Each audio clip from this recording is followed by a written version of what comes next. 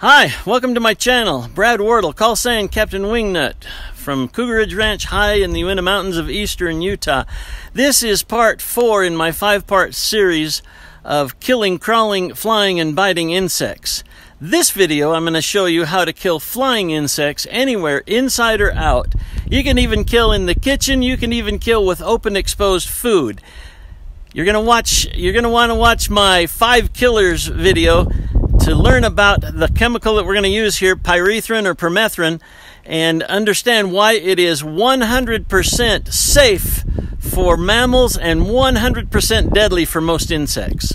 So watch that. Watch the other videos in this series as well and learn about the other killers that are going to become your five favorite killers. And so let's get going. Let's go kill some flying insects. Before I forget, don't forget to subscribe and click the notify button so that you know when I release new videos.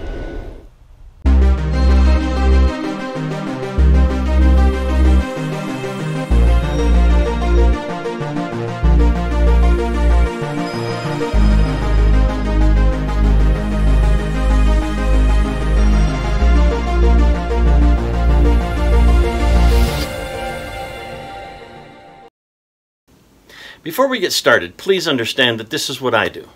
I'm letting you be a fly on the wall and watch and learn from somebody who's been around the park a few times, but everything in life requires that you take a personal initiative and use common sense in all that you do. So if you don't like what I do, that's no problem. Nobody's gluing your eyes to the screen. Just click away. If you do continue to watch, please use your common sense and figure out a way that it'll work for you. Just don't do it if it's against your personal views or ethics. Think before you act. You don't need to lecture me and the other flies on the wall here on why you personally think it's wrong. We don't care. Please keep that to yourself and we'll all have a wonderful time.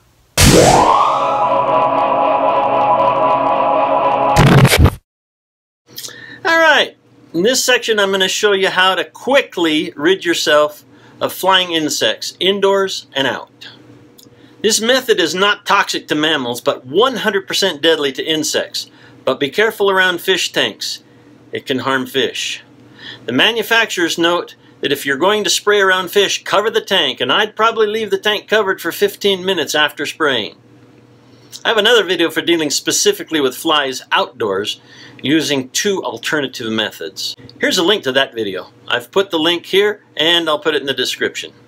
Again, you're going to use aerosol pyrethrins or permethrin for this. You can buy aerosol cans like this, and you can buy the metered can that goes in an automatic room sprayer. I get the automatic sprayer at the $1 store, and I have to order the uh, metered cans of uh, permethrin.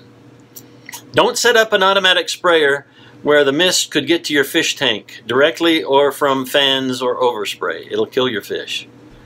This is totally awesome sauce because it shoots an occasional little shot of pyrethrum and any flying insect that happen to be in the area are toast. We keep one on the porch just outside of our door and it keeps all the flies that want to come in the house dead. They linger at the door waiting for somebody to open the door so they can come in and be cool and this goes off and they're toast. This is so powerful all you need to do is shoot a bit of this into the air, and any insect that flies through it will be dead. You don't need to run them down and drown them. They just need to touch one little molecule of it, and it'll kill them. This is the awesome sauce of bug killers. We have cans of this everywhere. And now, keep a can of this or your own spray bottle that you make handy because I'm going to show you an awesome use that will blow your mind.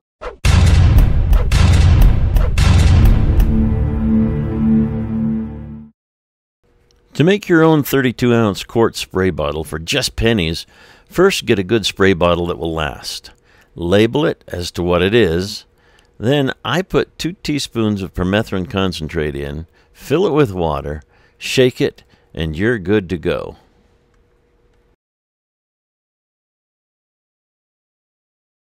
In part 5, I'll show you how to turn your camping gear, clothing, bedding, and anything else you want into an instant killer.